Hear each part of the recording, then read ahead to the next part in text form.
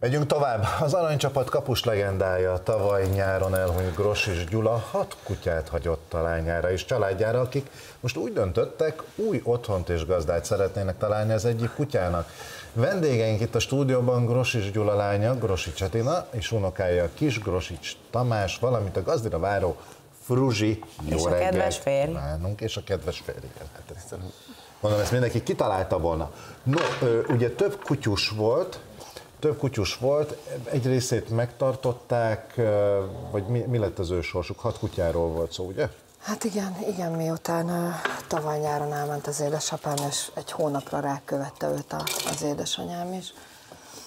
Ugye ezek után ránk maradt a hat kutyus, illetve négy cica, és a hat kutyából két kistestű, akik hát mind a kettő tíz éven felül van, négy nagy testű, ebből szintén kettő elég idős, és akkor két fiatalabbat szeretnénk. Hogy tudták illetve... egyébként Gyula bácsék fenntartani ezt a sok kutyust, mert nagyon sok munka van velük. Hát igen. Volt ebből kis vita otthon, vagy hogy lehet, hogy nem kellene ilyen sokat bevállalni? Nem, tulajdonképpen vita az biztos, hogy nem volt belőle. Ők nagyon szerették az állatokat. De az biztos, hogy egy egész... Na mit hozol, gyere! Ide hozod? Mert ő a kis gazdi, és uh, ugye már ismerlek titeket, uh, tudom, hogy a kutyus annyira gyerekbarát, amennyire csak kutya lehet. Tehát tényleg bármit eltűr, csak hogy kicsit promozzuk őt is, hiszen ezért vagyunk itt. Igaz? És miért, miért nem lehet, vagy miért nem tudjátok uh, Fruzsit megtartani?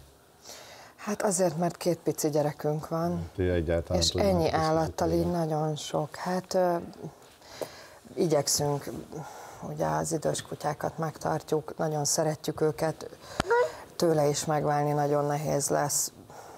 Tehát akkor négy kutya, lehet. ami még nálatok marad, igen. plusz cicák. Igen, Hány igen, cica? négy cica. Azt a Na beszéljünk Fruzsiról akkor, hogy általában egyébként így a mokkában, amikor kutyus örökbefogadásról van szó, akkor szerintem 10 perc nem telik el, és azok a kutyák gazdira, új gazdira találnak. Uh-huh. Tehát most próbálunk akkor ebben segíteni, mit tudunk Fruzsiról elmondani. Hivartalanított ah. kutyusról beszélünk. Nagyon gyerekbarát, ezt is megtudtuk. Igen. igen. Nagyon szeret labdázni. Hát Nagyon szeret érthető. labdázni, igen. Hat éves. Hat éves, kutyákkal jó kijön. Úgyhogy szeretnénk tényleg neki egy, egy megfelelő gazdát találni. Kinti aki, vagy benti kutya? Is is. Is is. Hát Tehát télen általában, amikor nagyon hideg van, azért beengedjük mi is, de általában azért a kertben van, és ott szeret rohangálni a többi kutyával együtt. Ki lenne az ideális gazdi szerintetek neki? Hát én szerintem kortól független, tehát idős, fiatal, bárkinek jó lenne, ő nagyon szeretetigényes, félénk egy kicsit, de hogyha már... És bújt. ha feloldódik, akkor nagyon aranyos, és tényleg családszerető, abszolút labdázik, nagyon szeret játszani. De ez, ez nem félő, hogy azért, hogyha lenne új gazdi, még a kis szívét, lelkét kitenni érte, hogy ő boldogságát ugyanúgy meg tudná találni? Hát ezért reménykedünk, hogy egy szerető gazdit találunk neki, mert az a baj, hogy így viszont időnk sincsen elég velük foglalkozni, és simi, simi. ennyi kutyából ugye azért kellene játszani velük, sokat sétálni. A séta az megvan, de sajnos a többire már így nem nagyon van kapacitásunk. Hát teljesen sajnos az én munkám is olyan, hogy reggel elmegyek, este jövök haza. Hát azért egy, főleg ennyi állatnál azért kell a törődés.